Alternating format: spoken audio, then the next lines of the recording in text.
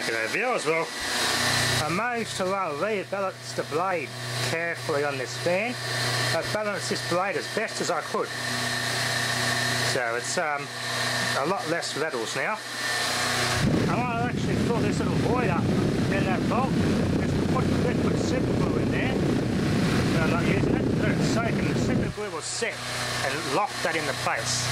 So glue works very well when machining and metal work to hold the um the arbor under your stock and stuff. So I'm going to use the same principle for this to hold this on. Just to retain it. Probably didn't hear my voice there, the air in the microphone. Apologies for that. Good old Taiwanese made Viewmaster from 1999 monitor. Picked that up. Um, someone was having a clean out. They people advertising the local uh, baby clothes and sulfanes pages on Facebook. So whenever there's stuff that they picked up, I go and have a look. It's a good thing I did because I picked up a barbecue frame. It's a nice stainless steel uh, doors on it. It's like a metal cabinet. So huh, I might use a toolbox thing out of this, so I, I will. So I got that, this, and a printer they got for parts. So yeah, it's barbecue things currently out there. I've washed it all down, pest controlled it. And I use that and put a workbench of it convert that and reinforce it a little bit and make a little workbench out of it. Maybe put some strong wheels on it. So that'll make an ideal metal cabinet workbench out here. Also scored this and some more cassette tapes. These are the um, same models actually that I, I had at the primary school. My primary school had several of these. Supplied by LA Walker, Hamilton. Mitre 10 Retrovision. From Hamilton, not from Mildura, my local town, eh? Someone must have bought it made in Malaysia. So it's not a Japanese one. I remember these types here. Yep, I took 10 batches.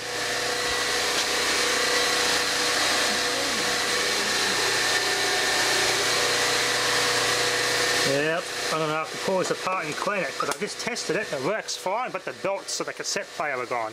The belts have perished. As you can see, it's one of those cassette decks that uses um, one tape behind the other one. This is really cool.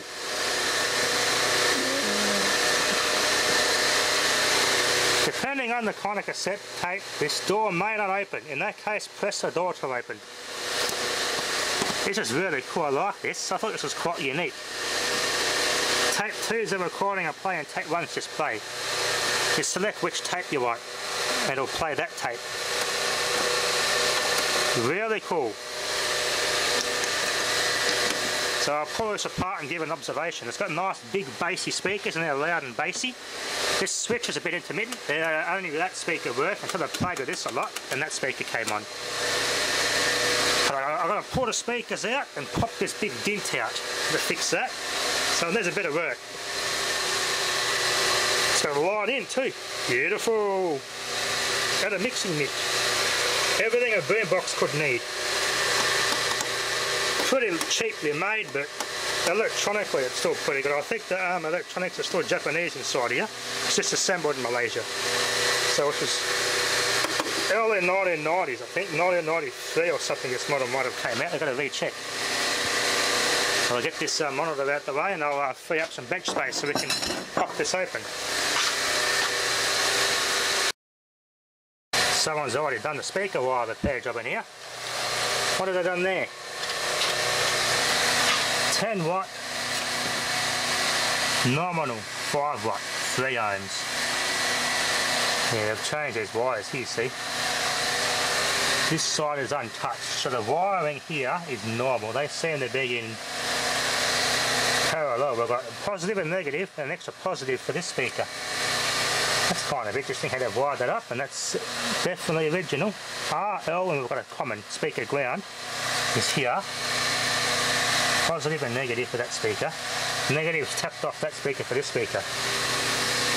Why would they have cut this off though and changed the wiring? What have they done there? That's pretty much all I can see, it's being touched. Big audio IC there. Oh yeah, check this out. I remember in primary school. Oh yeah, there's love dating tapes. He's very hungry for tapes. You can see that, look at this. Yep, she's eating a lot of tapes.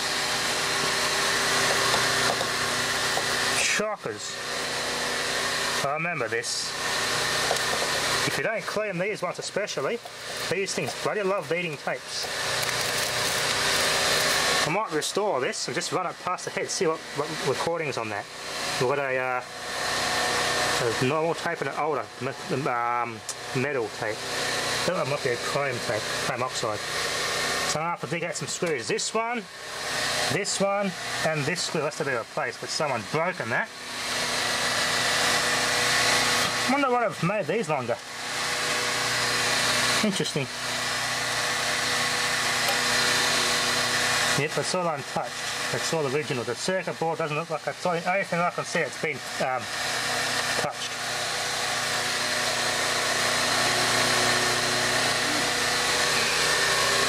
It's looked at in the past, but I think she's okay. I'm going to take this cassette mechanism out and uh, rebuild this. There's no belts on this whatsoever. Oh, yeah, that feels quite uh, gummy and sticky. Yeah. and that feels kind of sticky. Oh, I found there was a symptom on it. It said the cassette player not. Cassette does not work. Radio does work. So I messed around with it and it's got one of those big wide, um, 3mm wide flat belts like the, the big boom box I've got has. So it's the older style belt on this cassette player mechanism and that belt's in good condition. The main drive belt's all in good condition under there. I played around with this little idea. I messed around with this, flipped it like crazy, and both of all these turn when I press play and rewind and fast forward. Number two had trouble when it was playing. Only a pinch rather with that, but this wasn't engaging. So I messed around with it while it was playing, like that, and it works. It all works. So now I'm going to give everything a blast with our contact cleaner. These, especially this one here, is a bit dirty. So, um, these long screws too. I'll have to dig out from the screw box to replace all these screws now. All works quite well. So run some alcohol and clean this pinch on the heads now they're exposed. Run alcohol all over that and clean that cap's a bit close to the bloody heatsink, but it's in good condition. It's all Toshiba chips, all made in Malaysia, so but the caps are all Japanese, so it's uh, yeah, nice and bassy. 10 watt maximum, It's pretty powerful for something like this. Big beefy transformer too. Okay, well I've got everything cleaned up as best as I could. As you can see, there were some dirty heads. So where that tape went, rust left behind. I had a good look through this, I think I know why they've put these speaker wires on there. I've cut the originals off. They've uh, drilled two holes in the back here, and a third hole to run some external speakers. Yeah, they've run external speakers on this at some point. What sort of chipset? Toshiba TA72838P, Japan. Quite a powerful one, that one. At least probably a 10 watt per channel, that little uh, amplifier see. You can see what they've done there. They've uh, take some plastic off to try and run some external speaker wires. Can only uh, replace the three bottom long screws. I have not got any real long screws to do these top four. This boom box might rattle. I've got to find some uh, replacement screws for it. They're quite long, I don't know if I've got any of them. So that's what they've done, they've uh, attempted to put external speakers on this. Anyway, it works brilliantly. Let's put this back together and give it a good clean. I've pushed a dent out too. Pulled a speaker out and pulled it out, uh, pushed it through by hand. To do some cosmetics on this now. That's better. Anyway, let's pop it back together.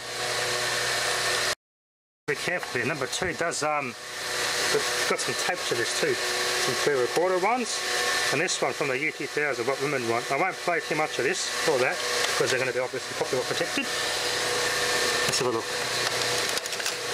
Sony Music, yeah, don't get, don't get involved with them, they will kick your ass. So tape two, I've got to spin this by hand, but doing this works instead to get that, so I've got to keep my eye on that. This thing fails to um, engage because of this switch, and that's why I choose the tape. Let's play. That's the right way.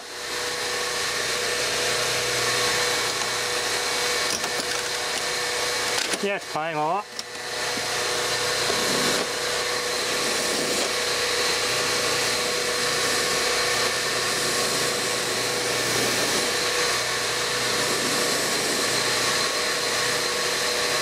Yeah. Wait for the audio to come through. We've got a bit of work to do here.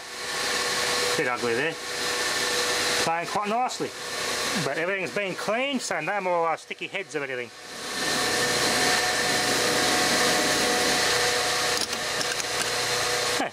Of a blank ass tape.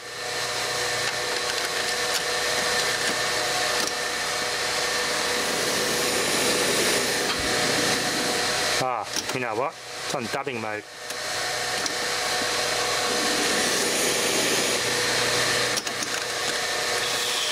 Let's look at here.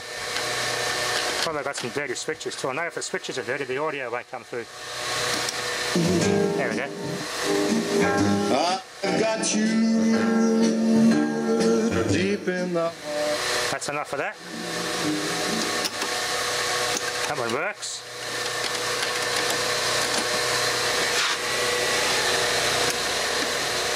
Look carefully at this with that antenna down before I bend that. I'll fix that up and tighten that up.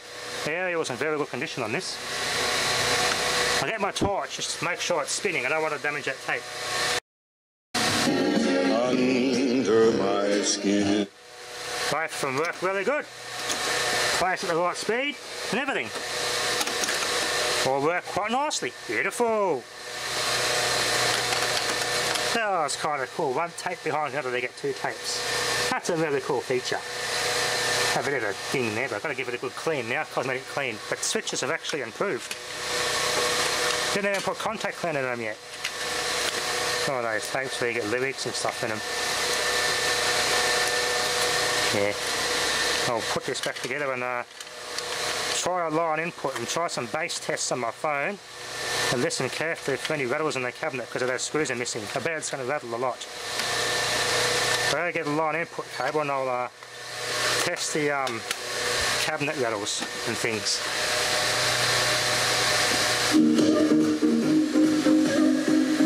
the VFD is coming through the audio and FM.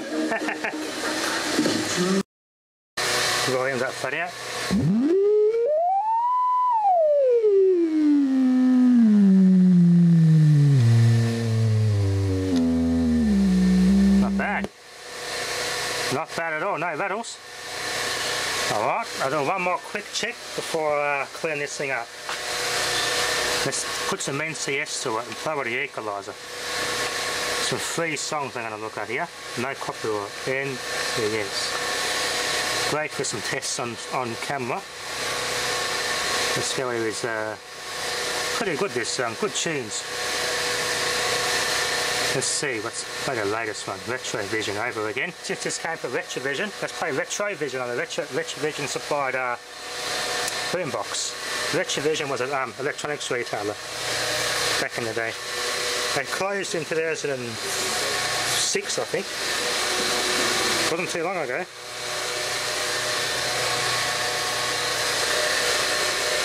Right for that. My internet.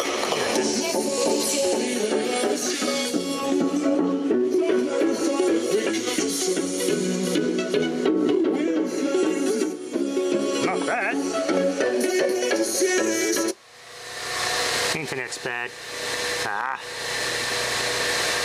The internet's fine and crap, but it's turned bloody. Put the GSM on.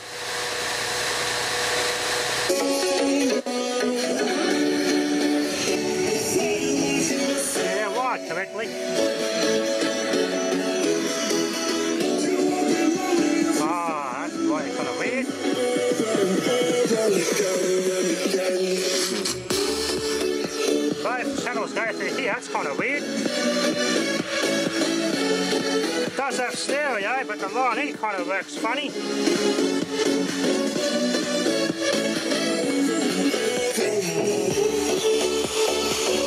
I'm getting a subwoofer effect on this channel and not a normal uh, notes on this one. Weird. Could be this cable. No, this cable's kind of faulty too.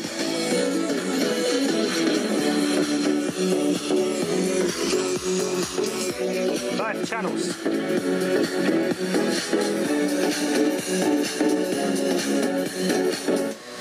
I've had problems with this cable in the past, in the car and everything, and it was always doing funny things. One channel will sometimes work and it will just go to both channels, so it's this cable. I'm not necessarily going to blame this. Cheap Chinese bloody cable from JB Hi-Fi.